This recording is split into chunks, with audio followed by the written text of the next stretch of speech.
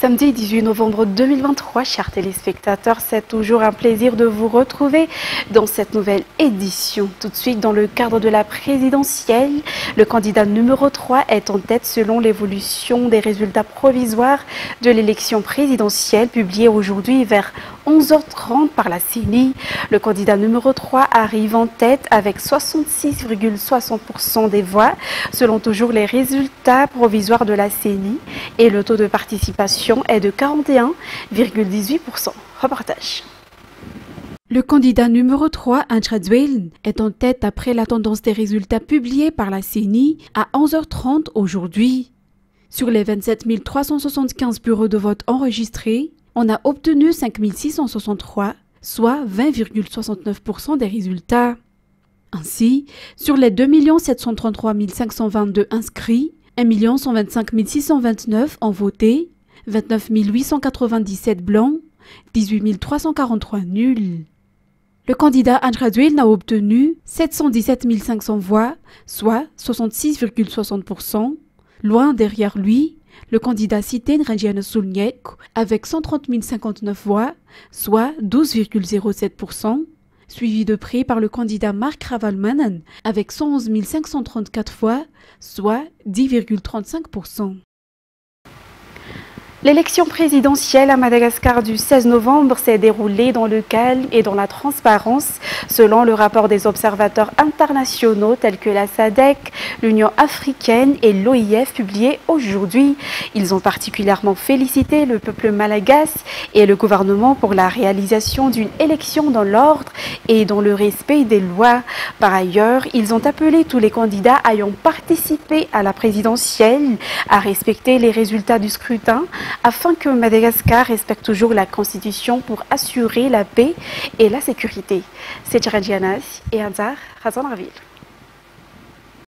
Ce matin, des observateurs internationaux, dont ceux de la SADEC, l'Union africaine et l'Organisation internationale de la francophonie, ou OIF, ont rendu un rapport provisoire sur l'élection présidentielle qui s'est tenue le 16 novembre à Madagascar.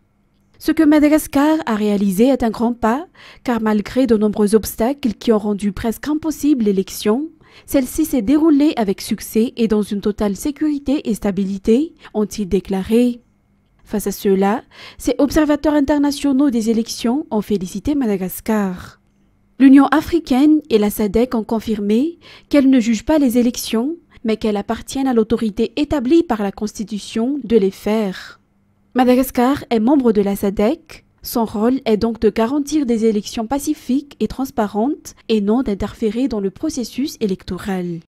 La mission conjointe de l'Union africaine et du COMESA a pris acte de la tenue du scrutin présidentiel du 16 novembre 2023 en République de Madagascar dans une atmosphère calme et paisible en début du boycott d'une frange de l'opposition. La mission félicite le peuple malgache pour la sérénité qui a prévalu le jour du scrutin. Cependant, elle déplore le manque d'engouement des électeurs dans la plupart des bureaux de vote. Et je pense que les malgaches ont conscience de l'importance de ce processus-là et qu'il faut aller de l'avant pour éviter une situation de blocage au pays. Et nous pensons que nous faisons appel au sens de maturité et de responsabilité des uns et des autres pour pouvoir avancer dans le processus euh, démocratique ces observateurs électoraux ont également confirmé qu'il est trop tôt pour affirmer que le taux de participation électorale lors de l'élection présidentielle est faible, car toutes les statistiques qui le confirment n'ont pas encore été rassemblées. Cependant, il est constaté que le taux de participation des femmes lors de cette élection était faible, tant parmi les candidats qui se sont présentés à l'élection, où il n'y avait aucune femme, que parmi les électeurs, ont-ils déclaré. Il est encore beaucoup trop tôt. Nous disposons aujourd'hui de résultats partiels.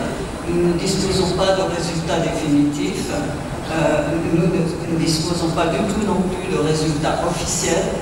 Et par conséquent, il est beaucoup trop tôt pour se prononcer, pour sur une validation pour porter un jugement définitif sur euh, le taux de participation et sur la manière dont les électeurs et les électrices ont pu participer. Madagascar est membre de l'Organisation internationale de la francophonie. Vous savez l'attachement de l'Organisation internationale de la francophonie pour l'état de droit. Euh, nous œuvrons partout et avec nos membres pour des processus électoraux qui soient transparents, inclusifs, démocratiques. Et c'est la raison pour laquelle nous sommes ici pour accompagner, pas pour juger les activités d'un gouvernement, mais pour accompagner un processus électoral afin qu'il corresponde le mieux aux objectifs et aux principes de la francophonie. Les observateurs électoraux internationaux rendront leur rapport final sur l'élection présidentielle du 16 novembre dans 30 jours. Toujours dans le cadre de la présidentielle, la HCC n'a encore reçu aucune plainte concernant l'élection qui a eu lieu le 16 novembre. Selon son président aujourd'hui, Florent Rakoutoirsou a également appelé tout un chacun au calme à attendre l'annonce des résultats officiels du scrutin dans le calme. Le président de la HCC a également commenté les différentes critiques reçues par la Cour constitutionnelle et a confirmé qu'il y répondra au moment opportun. Ensuite, si l'on se réfère au taux de participation lors de cette élection présidentielle, seulement 10% des électeurs ont soutenu les politiciens qui n'ont pas rempli leur devoir et joui de leur droit à déclarer le secrétaire national du parti politique TGV, Eir Rassou Marmak. Il a également annoncé que selon l'évolution des résultats électoraux déjà entre les mains du parti politique, nombreux sont les citoyens qui ont voté pour le candidat numéro 3, Anchradwil, pour cette élection de 2023 comparé au nombre lors du deuxième tour de l'élection présidentielle de 2018. Reportage de Anna Martina, Enzar, Rajiansu. Madagascar a effectué un suffrage universel direct le 16 novembre. Suffrage universel qui veut dire un vote égale une voix. Celui qui obtient le plus grand nombre de voix est élu. Le débat sur le taux de participation des électeurs est donc faux et déplacé, a déclaré le secrétaire national du parti politique TGV. Ainsi, la stratégie des politiciens qui visait à exhorter les électeurs à ne pas jouir de leurs droits n'a pas réussi. Quant à l'évolution de la tendance des résultats électoraux publiés par la CENI jusqu'à présent, le candidat numéro 3, Anjradzuel, est toujours en tête de classement. De plus, le nombre de citoyens ayant voté pour le candidat numéro 3 a augmenté par rapport à l'élection de 2018, a expliqué le secrétaire national du TGV. Cela est dû au constat des efforts qui ont été déployés et à la mise en œuvre des projets qui mènent au développement du pays et du travail qui reste à faire. Le secrétaire national du parti politique TGV a également souligné que la stratégie établie par les politiciens qui ont peur de l'élection n'est plus efficace du fait que la population ne veut plus de perturbations. Preuve en est cette élection du 16 novembre qui s'est déroulée dans le calme. Les résultats du travail accompli par le président Andrzej au cours de ces cinq dernières années et de la campagne qui a traversé de nombreux districts de toute l'île se reflètent dans ces tendances des résultats électoraux, a déclaré l'UPAR Antananarivo. Ces résultats ne sont pas surprenants car face à la haine propagée par les dix candidats qui ont peur de l'élection, les électeurs partisans du candidat numéro 3, Andrzej sont venus nombreux pour lui prouver leur soutien, déclare-t-il. Martina, C'est déjà une grande victoire pour les partisans du candidat numéro 3, Anjradzuel, si l'on se réfère sur la tendance des résultats électoraux un jour après le scrutin, affirme la plateforme UPAR Antananarivo. Les résultats ne sont pas surprenants pour eux par rapport aux opinions exprimées par les 13 candidats au cours de la période de campagne. Le candidat numéro 3 s'est concentré sur la campagne, faisant savoir à la population les réalisations qu'il a accomplies durant son premier mandat et les tâches primordiales à réaliser lors du deuxième mandat, alors que les autres candidats, notamment le collectif des candidats, ne cherchaient qu'à semer le trouble. L'élection s'est déroulée dans le calme et avec succès.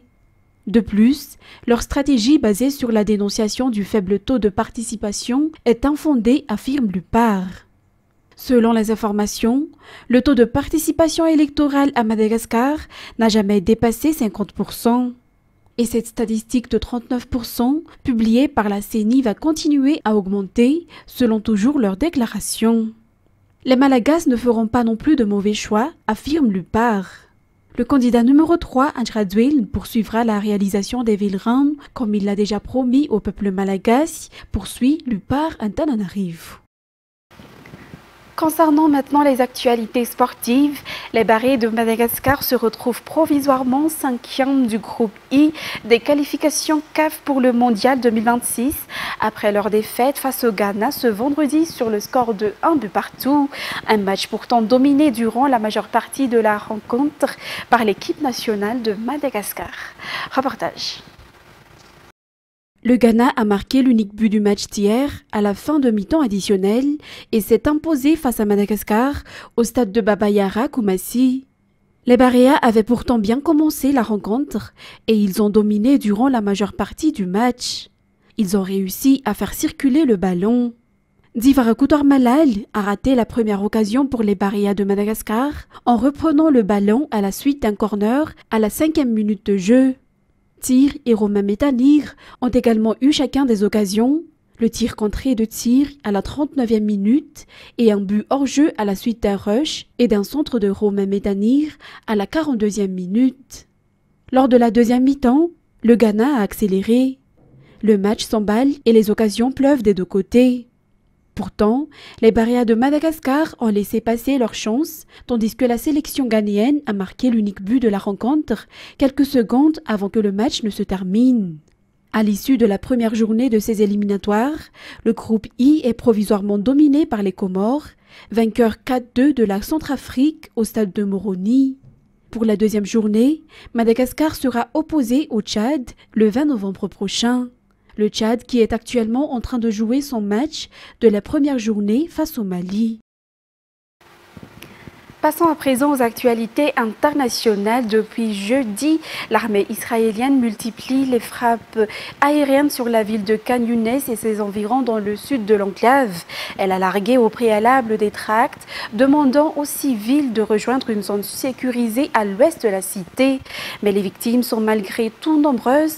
L'envoi de tracts fait craindre pour ces déplacés une extension de l'offensive israélienne au sud de la bande de Gaza. Reportage sur les images de France 24. Les panaches de fumée ne cessent de s'élever dans le ciel de la bande de Gaza. Depuis jeudi, l'armée israélienne multiplie les frappes aériennes sur la ville de Ran Younes et ses environs dans le sud de l'enclave. Elle a largué au préalable des tracts demandant aux civils de rejoindre une zone sécurisée à l'ouest de la cité. Mais les victimes sont malgré tout nombreuses. Parmi elles, 11 membres d'une même famille tués dans un raid aérien jeudi soir. Nous étions dans la ville de Gaza et nous avons fui à Khan Younes à cause du conflit.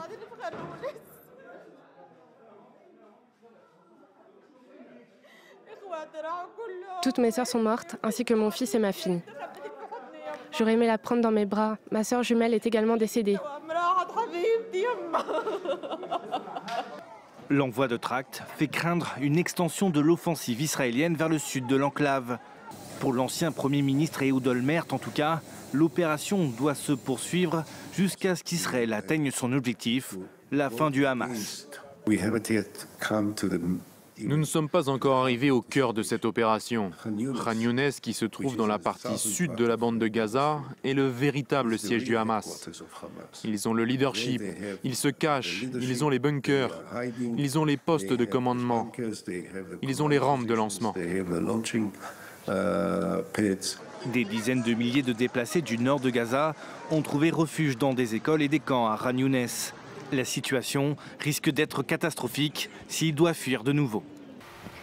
Ensuite, au Libéria, le président sortant, George Weah, a concédé dans la soirée de vendredi 17 novembre sa défaite à l'élection présidentielle du 14 novembre dans ce pays face à l'opposant Joseph Boakai, une issue démocratique qui branle avec les coups d'État survenus ces derniers mois dans la région.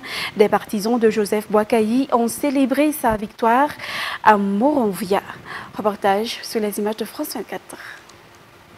Avec 99,6% des résultats proclamés et 28 500 voix de retard. Le président sortant, Georges Weah, a concédé sa défaite. Il l'a fait euh, dans un communiqué publié sur la page Facebook de la présidence. Dans ce communiqué, euh, il, il explique qu'il a appelé le, candidat Joseph Boakai pour le féliciter de sa victoire et puis il appelle également ses, ses partisans à reconnaître les résultats de cette élection.